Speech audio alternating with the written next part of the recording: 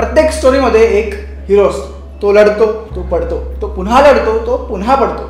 पण अखेर शेवट हा त्याच्याच विजयाने होतो. आणि असंच काहीचं चित्र आपल्याला अलीकडेच झालेल्या कर्नाटकाच्या विधानसभा निवडणुकांमध्ये ठळक पाहायला मिळालं. काँग्रेसनं कर्नाटकात काँग्रेसनं भाजपचा अक्षरशः बाजार उठवला आणि त्यानंतर एका नावाची चर्चा देशभर झाली. काहींसाठी तो होता डी के काहींसाठी तो होता डी केशी काहींसाठी तो होता शिवकुमार. पण काँग्रेससाठी तो होता बाहुबली. काँग्रेसचा हा बाहुबली म्हणजे दुसरं तिसरं कोणी नसून गांधींचे विश्वासू आणि कर्नाटक काँग्रेसचे किंवा काँग्रेसचे संकटमोचक डी के शिवकुमार. आता कर्नाटक राहू त्या बाजूला महाराष्ट्र तो आणि त्याचं कारण म्हणजे काँग्रेसच्या याच बाहुबलीमुळे काँग्रेसच्या याच नेत्यामुळे एकेकाळी महाराष्ट्रात राष्ट्रवादी आणि काँग्रेसच्या डेमोक्रॅटिक फ्रंटचं सरकार पडता पडता आणि विलासराव देशमुख यांचं मुख्यमंत्रीपद जाता जाता थोडक्यात बचावलं होतं. काय आहे तो किस्सा? काय आहे ती कहाणी? जाणून घेणार नमस्कार मी संकेत रक आणि आपण पाहत आहात एबीपी माझाचा स्पेशल शो गोष्ट नेत्यांची.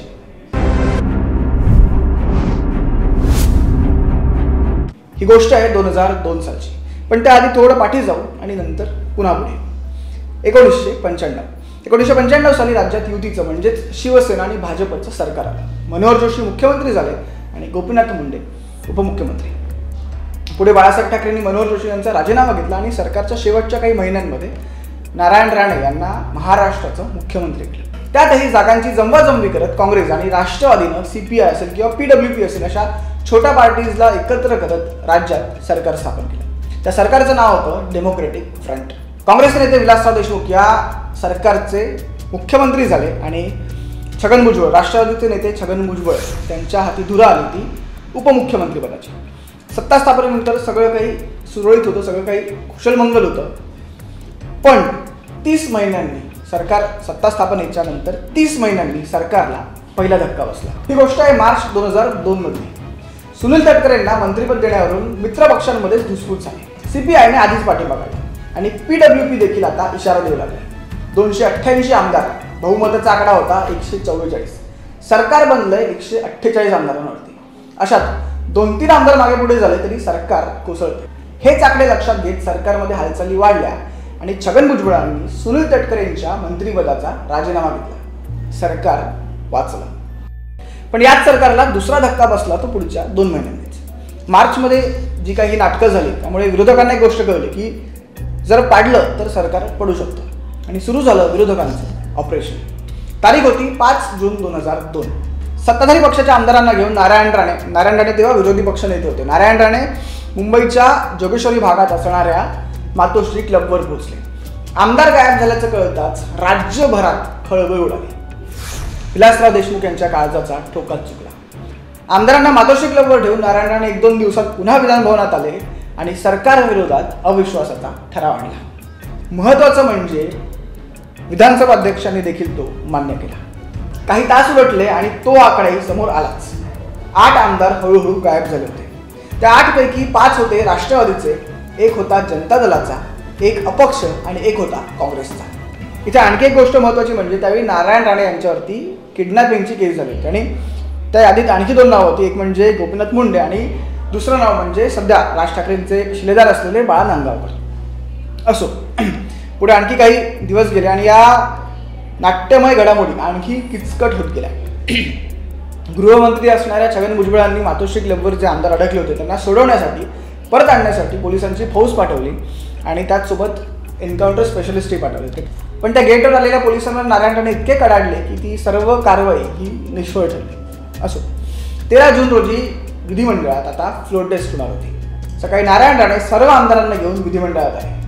पण त्यातच एक मोठा गोळ झाला.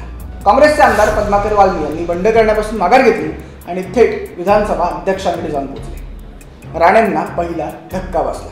यातून राणे थोडेफार सावरले पण तेवढ्यातच त्यांना आणखी एक मोठा धक्का बसला. तत्कालीन विधानसभा अध्यक्ष अरुण गुजराती यांनी गेम फिरवला. अध्यक्ष महोदयांनी अपात्रतेचे फासे टाकले आणि नारायण राणे यांचा संपूर्ण गेम पलटला. बंडखोरी करणाऱ्या आठ पैकी सात आमदारांना अध्यक्षांनी अपात्र ठरवलं एक आमदार म्हणजेच कोणतर पद्मकर वाल्मी वाचले. आणि त्याचं कारण म्हणजे अर्थात ते पुन्हा काँग्रेसकडे गेले आणि त्यांनी पक्षाचा व्हीपसुद्धा पाळला.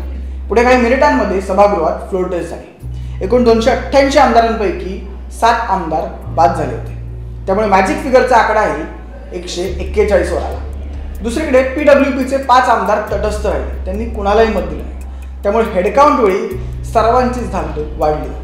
पण महत्त्वाचं म्हणजे इतक्या टेन्शनमध्ये इतक्या संकटातही विलासराव देशमुख यांचं प्लॅनिंग हे अव्वल ठरलं. सत्ताधारी पक्षाच्या आमदारांचं हेडकाउंट सुरू झालं आणि एंडला पोहोचलं. एकशे छत्तीस एकशे सदतीस एकशे अडतीस एकशे एकोणचाळीस एकशे चाळीस आणि एकशे एक्केचाळीस. सत्ताधारी पक्षानं बहुमताचा आकडा गाठला आणि सरकार वाचला. हे इथेच थांबलं नाही. सरकारचा आकडा थांबला तो एकशे त्रेचाळीसवर. बहुमतापेक्षा दोन आमदार जास्त. तिथेच विरोधात असलेल्या सेना भाजपचा आकडा थांबला तो फक्त एकशे तेहतीसवर.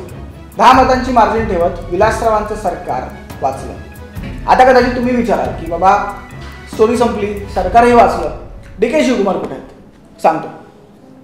जेव्हा नारायण राणे यांनी सत्ताधारी पक्षाचे आमदार मातोश्री क्लबवरती दिले त्याच वेळी आणखी आमदार फुटण्याची पण पूर्ण शक्यता होती. आणि आहेत ते तरी वाचवले पाहिजे. या हेतूने राष्ट्रवादी आणि काँग्रेस कामाला लागले. काँग्रेसनं आपले आमदार सांभाळण्याची त्यांचा घोडेबाजार रोखण्याची जबाबदारी हर्षवर्धन पाटील दिलीपराव देशमुख आणि कृपाशंकर सिंह यांच्यावर सोपवली. पण पुढचा प्रश्न होता की आमदारांना ठेवायचं कुठे? घेऊन कुठे जायचं? तर त्यासाठी काँग्रेस हायकमांडनं फोन उचलला आणि एक नंबर डायल केला. त्या फोनची रिंग वाजली ती बँगलोरच्या कनकपुरा भागात. आणि तो फोन उचलला काँग्रेसच्या एका शिलेदाराने. सोनिया गांधींनी आमदारांना ठेवण्याची आमदारांना जपण्याची आमदारांच्या सोयीची जबाबदारी याच नेत्याकडे दिली. या नेत्याने देखील सूत्र फिरवली आणि बँगलोरपासून जरा दूर असणाऱ्या गोल्डन पाम्स नावाच्या एका रिसॉर्टमध्ये बुकिंग केलं. जितके दिवस हे आमदार तिथे होते या नेत्याची त्यांच्यावर करडी नजर होती. या मोठ्या या महत्त्वाच्या मोहिमेसाठी सोनिया गांधी यांनी निवडलेला हा शिलेदार हा बाहुबली म्हणजे D Kempegowda Shivakumar. D K Shivakumar. Shivakumar यांनी आपली जबाबदारी चोख बजावली एकही आमदार फुटला नाही. आणि महत्त्वाचं म्हणजे हा सगळा कार्यक्रम कठीण असला तरी अगदी मस्क्यासारखा झाला. आणि म्हणूनच दोन हजार दोन साली विलासराव देशमुख यांचं सरकार वाचलं ते याच बाहुबलीमुळे काँग्रेसच्या डी केनमुळे तुम्हाला व्हिडिओ आवडला असेल तर नक्की लाईक करा. तुमचं काय म्हणणं असेल तर कमेंट बॉक्समध्ये सांगा. यूट्यूबवर जर तुम्ही व्हिडिओ पाहत आहे तर सबस्क्राईब करायला विसरू नका. फेसबुक किंवा इंस्टाग्रामवर जर तुम्ही व्हिडिओ पाहत आहे तर फॉलो नक्की करा. धन्यवाद. एबीपी माझा. उघडा डोळे बघा नीट.